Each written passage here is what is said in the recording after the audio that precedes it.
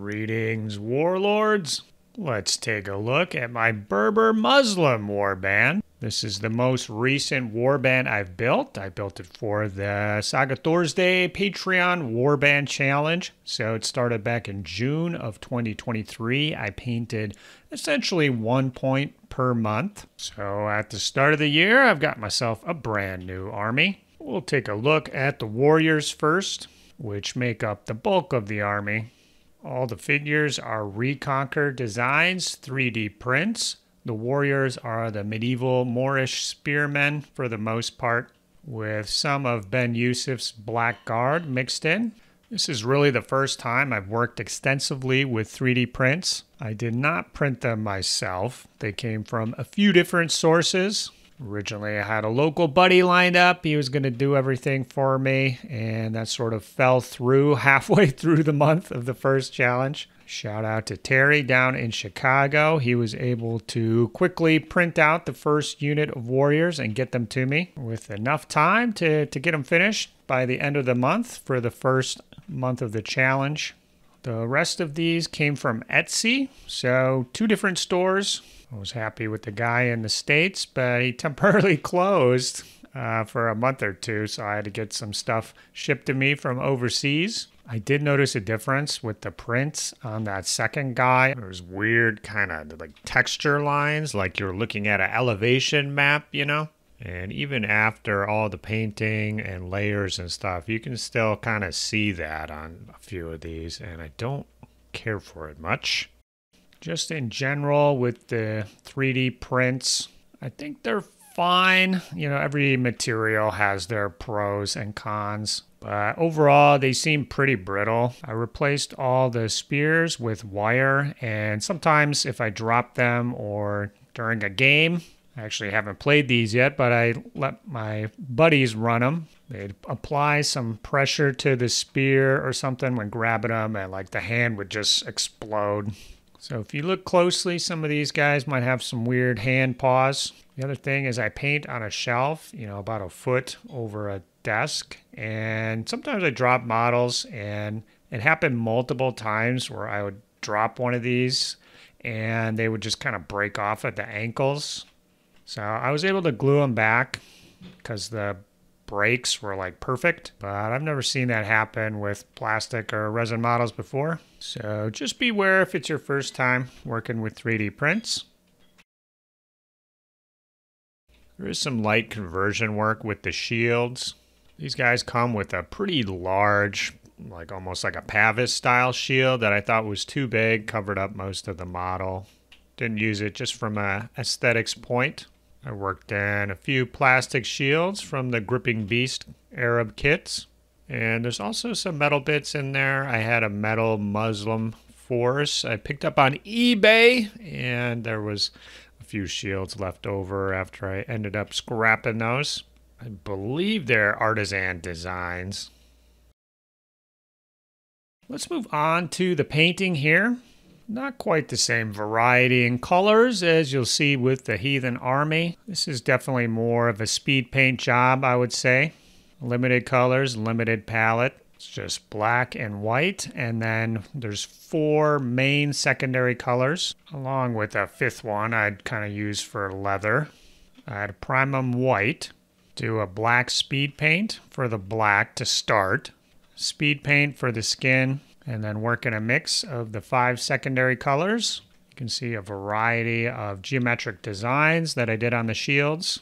And once those were all base coated, I hit the entire model with a very thick and goopy oil wash. It was mostly black with a little bit of purple mixed in. Always got to have that purple.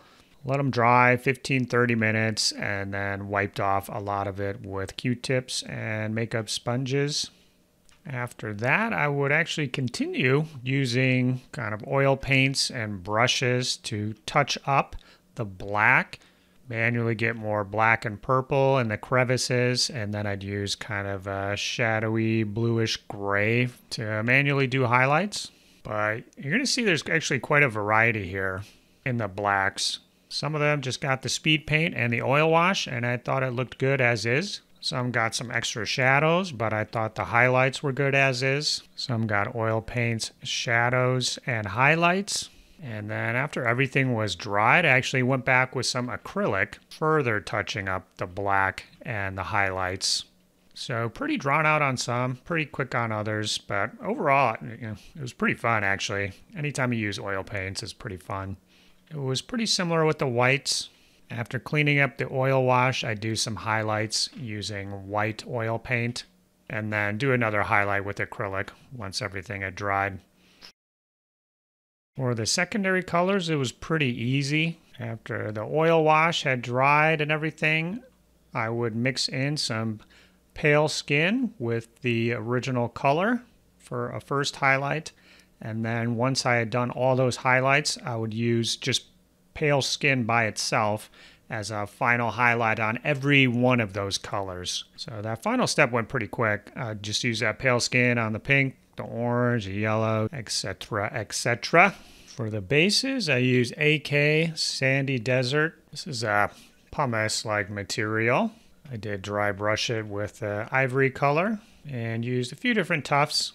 On the tufts, I went back and dry brushed them with like a yellowish white color. Really like that neon kind of yellow look. Contrasts well with their black on the models. So most of these warriors were painted in the first three months of the challenge. Usually I'd start them in the last week and invariably run up against the midnight deadline, but I did finish them. After front loading everything, I moved on to some Hearthguard. So having just four models to paint in a month was very nice. These four figures are from the Moorish heavy infantry set. Some of these guys are pretty lightly armored and some are just encased from head to toe, as we shall see when we look at a couple character models. Three of the four I chose did have chainmail. Painting that followed the same process, laid on a base coat, oil wash, but probably a little bit more elbow grease to finish them up in the end with a little dry brushing, highlights, extra washes to get shadows, stuff like that. I gave these guys golden helmets to help differentiate them from the standard warriors a little bit. And their shields are a little more elaborate too, I'd say. Using the same heavy infantry kit, I pulled two guys to be heroes. So the first I did was this super heavy armored guy. He definitely looks like a special fighter, but I don't know, I, I just didn't think he really matched the rest of the force being so heavily armored. So I ended up doing a second guy on foot, and he's kind of more similar to the regular guys. He does have some golden armor to differentiate him a little bit, along with that purple shield. So if I want to use a warlord on foot, I've got it. And that heavily armored guy, he'll just make an extra hero for new feud scenarios, whatever. So one of the months was just painting these two guys which was pretty easy. But for the last month, I saved the ultimate challenge, which was the camel rider. So, absolutely one of the main reasons to build this army was to get some sweet, sweet camels in the fray. Getting these assembled and ready to paint was a pretty, pretty big challenge in and of itself.